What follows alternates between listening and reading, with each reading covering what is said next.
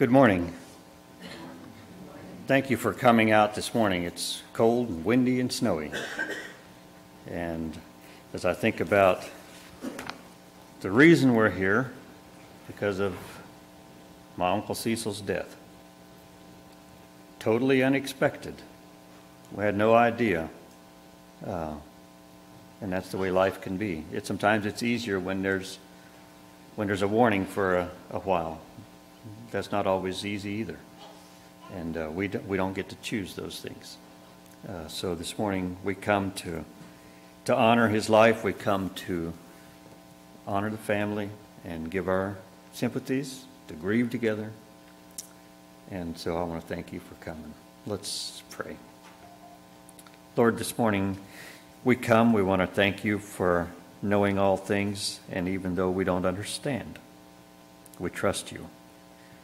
And so I ask for your favor, your blessing as we meet together this morning. I know that there would be many others that would like to be here, but because of the weather, they uh, chose not to, and for some, it's probably best. And so I pray, God, that you'd also comfort them because I know that there are some who uh, really wanted to come and just felt like they can't. So, God, I pray for your comfort, and I thank you for your love in Jesus' name. Amen. I'm going to share some stories I remember about Cecil, and then I'll. Uh, Cecil was involved in in uh, handing out a lot of CDs. How many of you have seen some of those trucker CDs that Cecil had? Okay, well, I'm going to give you an opportunity after the service to take one or two of those because I'm going to make them available if you'd like them. And he told me in November he said, well, no, it was October. He told me, he says, well, the, he, he said, uh, the song on that, their theme song is not a Christian song. He says, it's, it's a country song, but he says, it's not a bad song. He says, that's just their theme song. And so I'm going to, I'm going to have the sound guys play that later on. And, and you'll know what, what, I'm, what I'm talking about when I talk about the CDs. But it's, those CDs usually have either a testimony of somebody uh, who gave their life to the Lord or else uh, a sermon. Or the first one I listened to was a singing group, and I was looking for the theme song, and I didn't find the theme song on the first CD I picked up, so they may not all have it. I thought they all did, but I hadn't listened to that one. So I think one of my earliest memories of Cecil was when Cecil and Morris, you remember that you had a, a little electric race car track upstairs at Grandpa's. It had two tracks. I think it was a figure eight track. And I don't know how old I was. Not very old. Maybe six. And I thought I was old enough to be careful with that thing, and they weren't always so sure. And I look back, and I, am not sure either. but, but, you let me play with that, and uh, and I know that there was times I didn't slow down enough, and that some of the cars flew off the track, and so I'm sorry. but it, it meant a lot to me that you even allowed me to play with that. That made me really feel big, I think. And, uh, but I know that it probably wasn't the smartest move on your, on your part, but uh, it doesn't seem like it's big a deal now, but back then it felt like a big deal to a, a six-year-old. And they lived with grandpa's upstairs there where Serena's house is now along C Avenue. And I remember, I remember when, when Cecil got married. So Barb, I, I remember that, and and I remember when Jason and and Terry were born. I wasn't that much older. I don't know what year were you born, Jason? 76. 76. I was born the very end of 65. I just had a birthday. So uh, we're about 10 years apart, and that's about how much difference it is between Morris and I, probably. And so uh, I, re- I remember those things. Those just it's just memories that I have, and and I know some of you were trying to figure out now. Wait a minute, who how is how does how does Cecil fit into all this Bender family?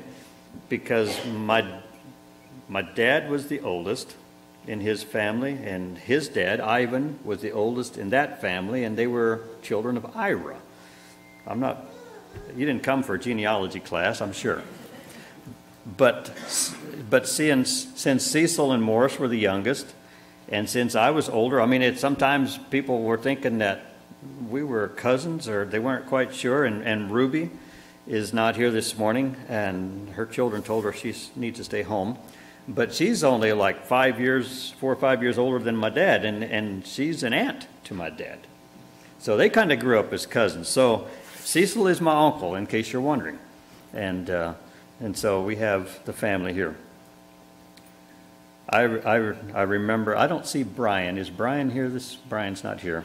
But I remember um, Cecil telling several stories. One of them uh, in the past 10 years, he would tell, he told me, he says, yeah, he said, I'd tell people, he says, I've got two nephews in prison, and I'm proud of them both. He said, one of them's a chaplain and the other's an officer.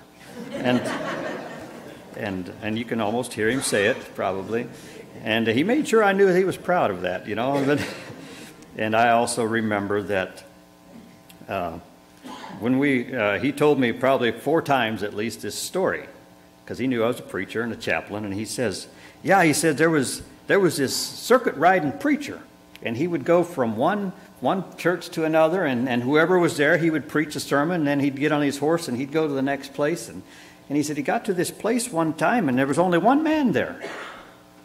And so the farmer that was there, he said, well, he had preacher ask him, he said, well, should I, should I preach? And he says, well, he says, if I go out and feed my cows and one cow shows up, I feed it. Preacher said, okay. So he preached a sermon, preached his heart out, and after the sermon, shook his hand. He says, what do you think? He said, well, if only one cow shows up, I don't feed them the whole load. and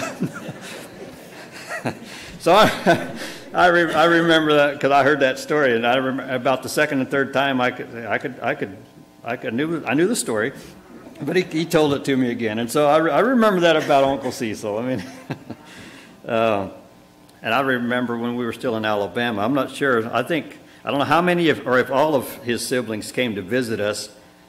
Was about five years ago? I don't know how long ago it's been. Uh, don't remember the occasion. If it would have been maybe one of my dad's retirement things, I don't know if it was the retirement party or not. But they were there and visited us, and, and Cecil was talking about the Lord. He was talking about the Bible, and, and I, that, was, that was not really what I would think of when I thought about Cecil. And I, I said, Cecil, I says, are you born again? And so he, he started telling me what had happened. And he had gone through a very difficult time in his life just recently. And he says, uh, I was very bitter and angry. He said, I was really angry. And he said, I could not sleep for three days. He said, I couldn't sleep. I wanted to sleep, I couldn't sleep. And he says, You cannot function if you cannot sleep for three days. And he says, You can't. And, and he says, But I couldn't sleep. He says, Finally, he said, after the third day, he said, I got on my knees and I asked God to forgive me. And I'm in my mind, I'm thinking he told me that about five years ago. And he says, I went to bed and slept and I don't remember exactly. It was at least 17 hours before he woke up. And he says the bitterness was gone, the hatred was gone. And he knew God had done something in his life. And uh, so he was, he was sharing that with me. And, and he said at that point, he said, I'm not where I want to be with, with the Lord. But uh, and he just was, he was just honest. And so I appreciated that about him.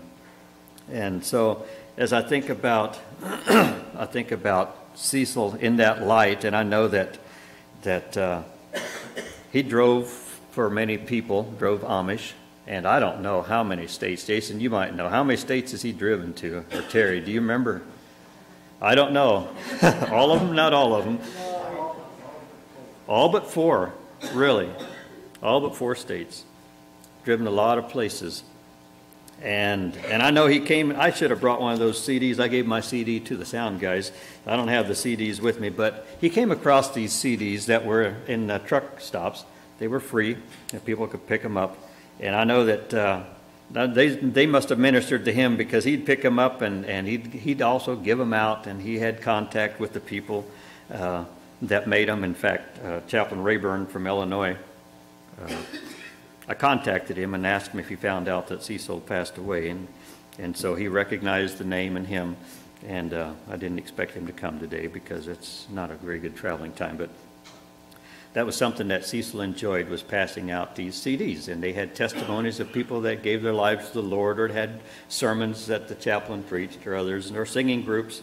And so he would pass these out freely. And uh, I don't know how many of those CDs went through his hands, but I would guess probably thousands of them. and uh, I brought a stack of them, and, and I'm going to let you help yourself to them. Uh, after after the service, I'll put them out on our table. Just just take one or two of them until everybody has an opportunity, and if there's still some and you want more, just take them till they're gone. But uh, I know he he drove all over, and I know he didn't drive an 18 wheeler, but he was going down the highway, and uh, here in a few minutes, I'm going to let them play the, the theme song, and you'll understand a bit more because Cecil was also a member of the Cowboy Church, and he had talked about that. And somebody told me that on Facebook, you know, that, uh, you know, they'd, they'd found out about it or whatever, and, and I uh, told the family that I'm not on Facebook, except I do have my sister, and she's pretty special, but she's my only, my only person that I am on Facebook with, and I'll make a confession. I, I made a, I got Facebook because I needed, I needed, uh, I needed a Mexican restaurant. I needed to, I needed to know what they had for sale, and I had to go on Facebook during COVID to get it, and so I got it. And anyway, but he would go, he would go down the highway, and I'm sure that that also made a connection with him. And so uh, he, he bought a lot of ponies and horses and liked to train them, and then he'd sell them. And I remember stories that, you know, he, he found two ponies out in Montana because he took his horse trailer up there to, because an Amishman he hauled had horses for sale, and, and he might come back with none, or he might come back with more than he went with, or and he'd sell them in in uh, Ohio or Kentucky or somewhere, and then that was part of his business. He just enjoyed horses and ponies, and and that was just that was Cecil. He enjoyed his farm that he had uh, in Missouri and his chickens, his goats. Uh, you ever get a milk goats, Terry? No. Wow, you're lucky. No, I don't know if you're lucky or not, but, but, but uh, those are things that Cecil did. He enjoyed that, and I, I thought the, the little poem uh, in the front of inside the obituary was, was appropriate for, for what he what he enjoyed. If I had five dollars for every horse sale Cecil attended, we, I could take you all out for, for a pretty good meal, I think. Uh, several times, probably, probably. Uh, but he would he would listen to these driving, and, and he would let some of the people he had with him uh, listen to him as well. So that was that was his that was his way of, of, of sharing the gospel, I think that was what he did. And so Lonesome Road Ministries or Channel One Ministries, uh, I'm not sure. I think there may be two different ministries. I'm not exactly sure how it is, but they're on the same same CD. Uh, you'll see them on the cover together, and they advertise, you know, a clean talk radio, and Chaplain Gary Rayburn uh, with with other chaplains. And so I remember. Uh, I already shared about my cousin, Lewis. Didn't, did I share with you? I shared with the family in the, in the fellowship hall. I, I didn't care about Lewis. Lewis Wagler, my second cousin, he was here last July, and when he found out Cecil passed away, he said, Well, was he at your place on July the 4th? I couldn't remember right offhand until we, we thought about it a little bit as a family, and yes, he was there. And so Lewis said, Yeah, I got a whole. I said, He gave you several CDs. And, he said he gave me a handful. And, and so he, he remembered. And he said, Well, he was all excited about that, too and that was Cecil. He did. Do you want? Do you have that available? Just go ahead and, and, and play it until, and he'll interject a little bit and share what's on the CD, and then after that, I think I'll let you shut it off.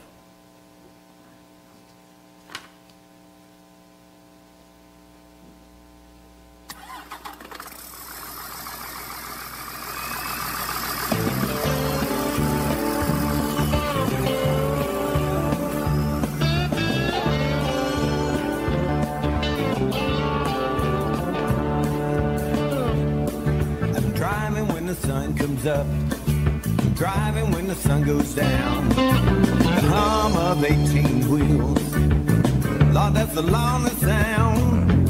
I spend all day chasing that old white line. I've been on the road so along.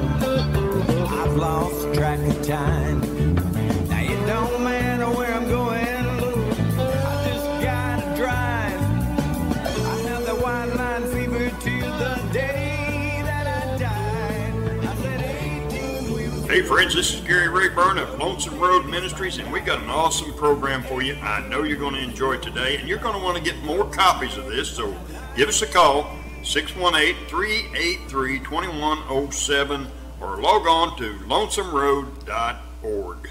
Or you can email me at gary.lonesomeroad at gmail.com. We look forward to hearing from you.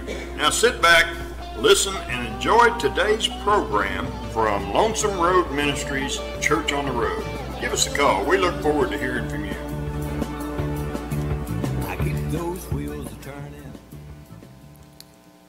So now you know what I'm talking about if you haven't heard the CDs. So I've asked uh, Floyd Helmuth, pastor, to, if he would come and read the obituary.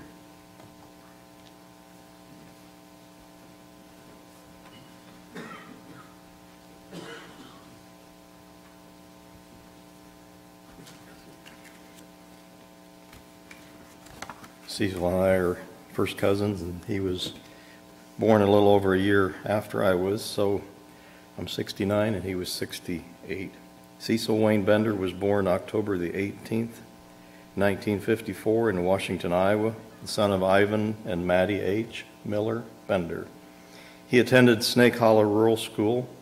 He was united in marriage to Barb Watkinson in 1976. The couple had two boys, Jason and Terry and later divorced. Cecil worked at the Kalona Cheese Factory and Concrete Walls, and after moving to Macon, he was a driver for the Amish. Cecil loved ponies, being with his family, spending time on his land, and playing marbles and euchre. Survivors include his two sons, Jason Bender, Mindy Howe of Keota, Terry Bender, Shannon Wiegard of Marengo, eight grandchildren, Lexi and Kaylee, Miles, Maxons, Maxon, Mason, I'm sorry, Max, Mallory, Maddie, and Marcus. Special friend Arlene and five siblings, Marvin, married to Emma Bender of Kalona, Rufus Bender of Kalona, Ezra Bender of Macon, Missouri, Serena Zarnik of Kalona, and Morris Bender of Keota, and a number of cousins and nieces and nephews. Preceding Cecil in death were his parents and one sister, Esther Bell. Cecil W. Bender, 68, of Macon, Missouri, died Thursday, December the 15th, 2022, as a result of injuries suffered in an automobile accident. A general memorial fund has been established. And also, just for all of you, the family would like to extend their sincere appreciation to everyone for the many acts of kindness, love, and support shown to them at this time of loss. Thank you for coming.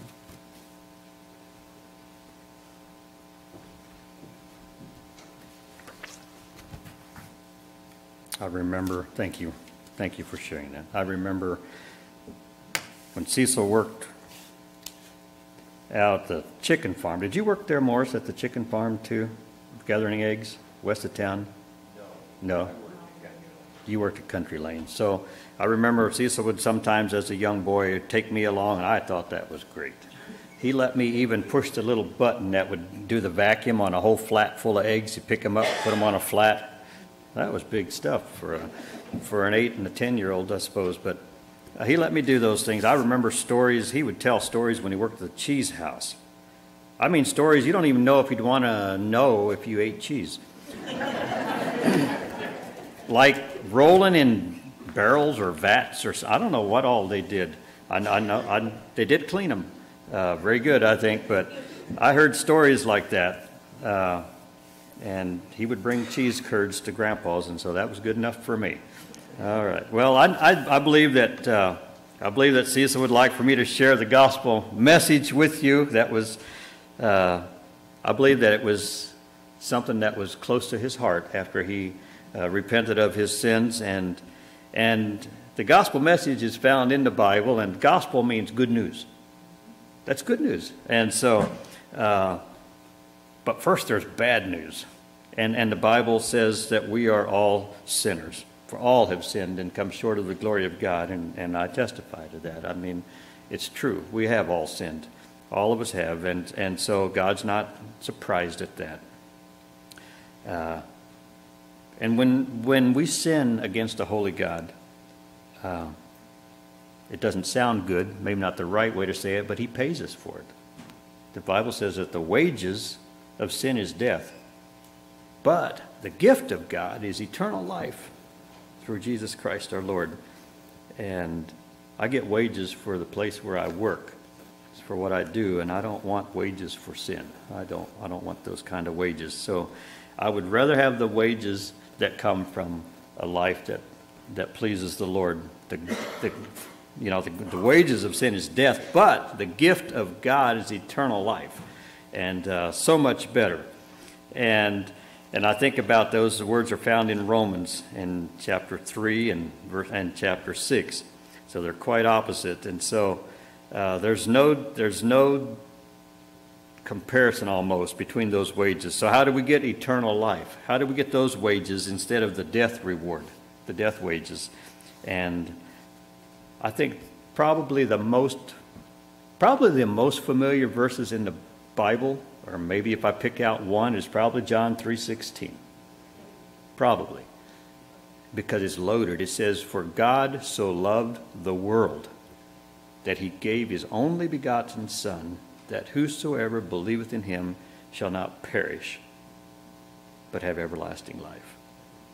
So, if I put it in a nutshell, I can't understand. We think about, we think about when Jesus rose from the dead as being the biggest miracle. But how can God, and as what we, what we read in the Bible, Jesus had been in heaven before he ever was on earth. How, talking about miracle, how can God somehow become a baby? How can he reduce himself to such a fragile little body? I don't know. Uh, my nephew Kevin just had a little baby. His wife just had a baby here Thanksgiving, day before. Tiny. How could Jesus, being God in heaven, how could he come to earth? That's a miracle. I can't explain that. How could he do that? Why did he do that? I know now why, but how would why did he want to become so much like us before he died for our sins? I think he wanted to experience what we experience I think he wanted to know what it was like. And the best way, I guess, was to live in a body like we have. He experienced friends dying. He experienced having a bad cold, I think. He experienced a lot of things that life offers. Uh, and the Bible says he was tempted in all points like we are, yet without sin. And he was perfect. And, and only God could do that because we can't. We, we're not perfect. And, and so when, when God so loved the world that he gave his only begotten Son, and we celebrate that at Christmas time, the first, you know, when Jesus was born. That was not the beginning of Jesus, but it feels like it to us because we think that way in our minds. You know, we just think about birth and we think about death, but Jesus was before that. And that's, that's a huge miracle that he was able to leave heaven and come to earth. And then he lived here for 33 years, approximately and shared the good news about salvation. He lived it, He died for our sins because a holy God cannot just wink at sin and say it's okay. There has to be some kind of penalty for sin. And Jesus took it. I'm thinking, well, could I have died for my own sin? I mean, it would be fair. Would it even the score? Mm, no. But if it did, I'd still be dead. You know, but Jesus, Jesus took that penalty that we had because of our sin that was against a holy God, and he, he said, I'll die in their place. And because he was perfect, God our Father accepted that penalty. And that was Jesus' death on the cross. Cruel punishment. Uh, didn't deserve it, but he took it for us. Romans chapter 10, verse 9 and 10 says, If thou shalt confess with thy mouth the Lord Jesus, and shalt believe in thine heart that God raised him from the dead, thou shalt be saved. And because it's for with the, with the heart, it's, it's deep inside. With the heart, man believeth unto righteousness, but with the mouth, confession is made unto salvation. And uh, salvation, we talk about being saved, and that just means that we have been saved from the penalty of our sin. That's what salvation is. And if we confess our sins, then God is willing to forgive us. Amazing. It's amazing. How can it be gone? I think that's why Cecil, once he repented of his sins, that's why he could sleep. Because there's a peace that came over him. It's just, I can't, I can't explain the peace that God gives from, from day to day. Uh, I guess I've been, I've experienced it so long, I think I take it for granted. But it's a blessing.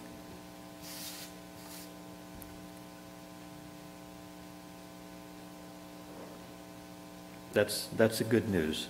Is the big, in a, in a nutshell, the good news is that Jesus took our place. Excuse me. And that's why he came.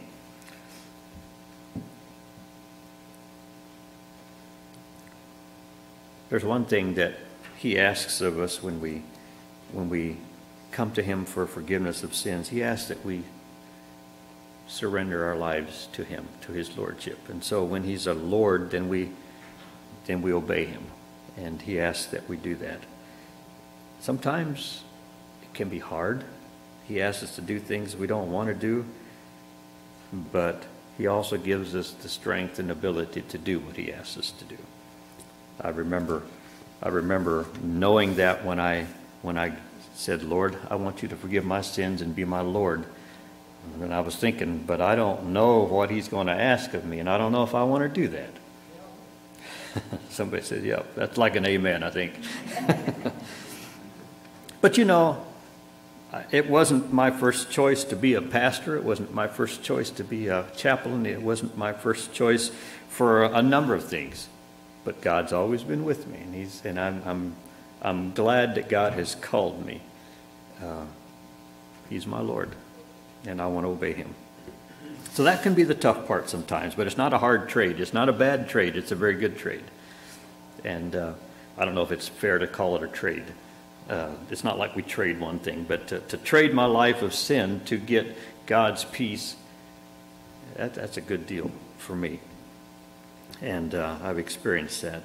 And that's what God can do, you know, and, and uh, it's what Jesus calls being born again. It's a new life. It's a new life. It's different. It's turning around from the way I used to, to think and live and going the way that God wants me to. So, not always easy. I mean, my flesh, this, this body of mine, I still, I still have a tendency to sin, and I'll always have that. Uh, but I am so thankful for God's forgiveness when I submit to that and, and confess those sins.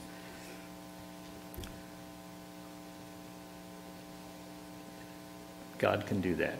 Does He love us? Yes, He does. Uh, and I think about, well, when we have eternal life in heaven, when we have that option, what if we don't? What if we don't take that option? Then the other option the Bible talks about is hell, and that's scary. Don't like that option. Uh, he didn't make hell for people. The Bible says he made it for the devil and his angels. But it does say that those who don't trust in him uh, will go there. And so he doesn't want us to, and that's why Jesus came.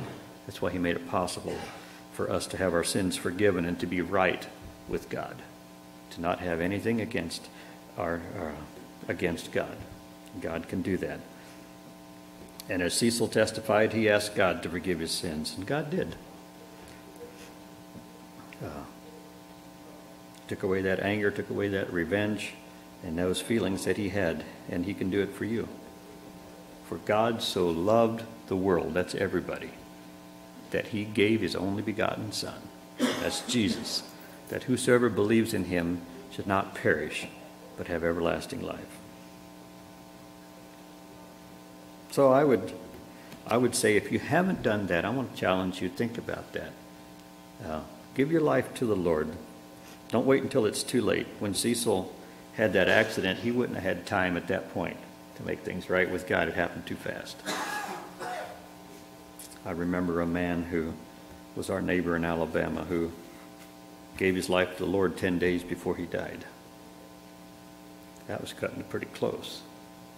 And uh, had a, an adult daughter that lived at home yet at that point and just found out last week that she gave her life to the Lord now. And what a blessing. I mean, uh, it was a struggle for, for her to, to do that.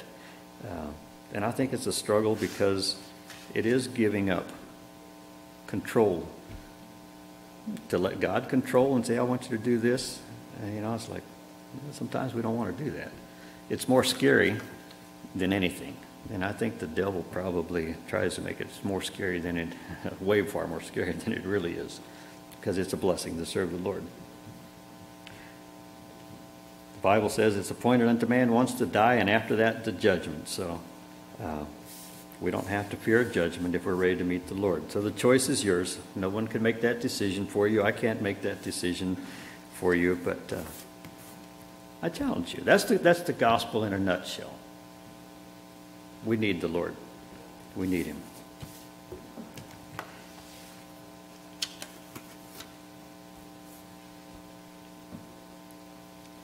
We have a little time. I, I feel like I'm done sharing what I want to share, and I don't know if some of you would like to share anything about Cecil uh, that spoke to you. I'll give you an opportunity if you'd like.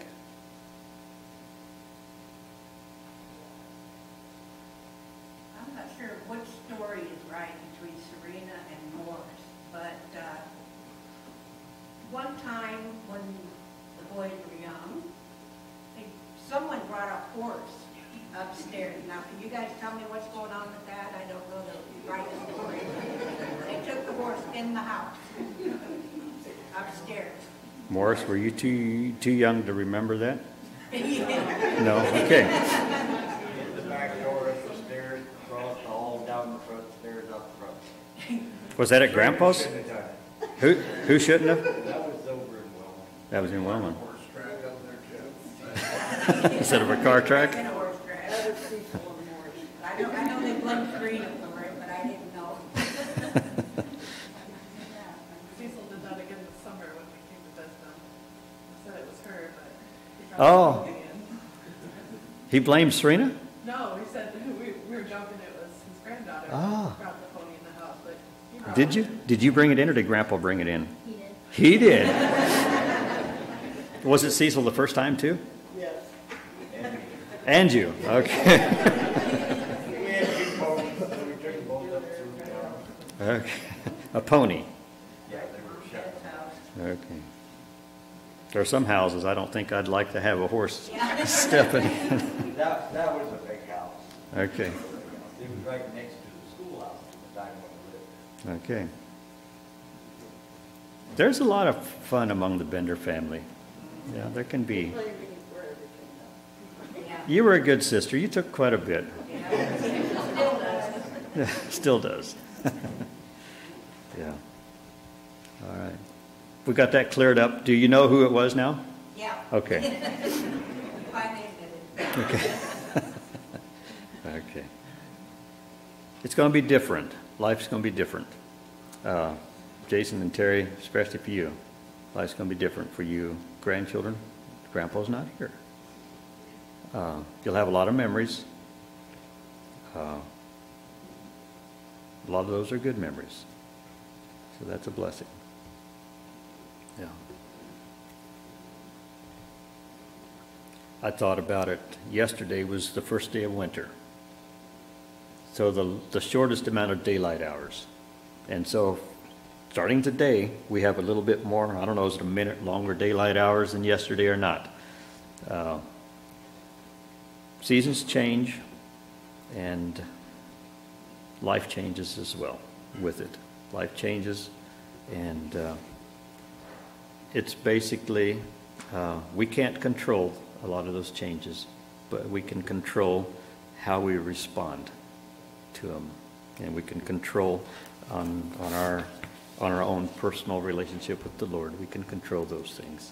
And so I want to extend my sympathies again, especially to the family. I'm so sorry.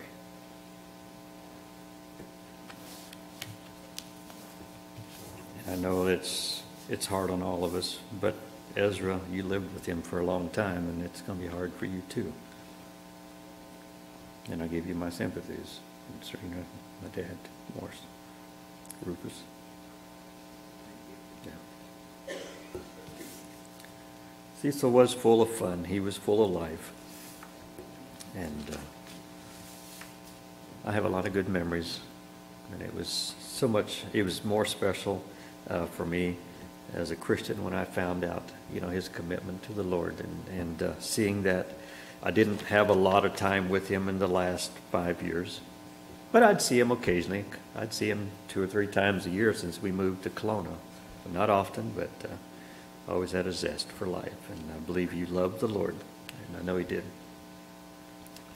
I will end with a closing prayer, and and I know that uh, I'd told him about 11:45. It's not quite that late yet as far as the meal, but you are all welcome to stay for the meal.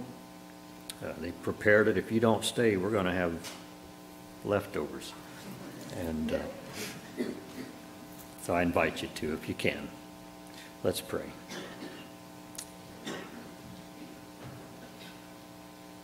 Father, uh, it's hard to say goodbye to Cecil. It's it's difficult. Uh, we can't see his body here this morning. That makes it probably not as real.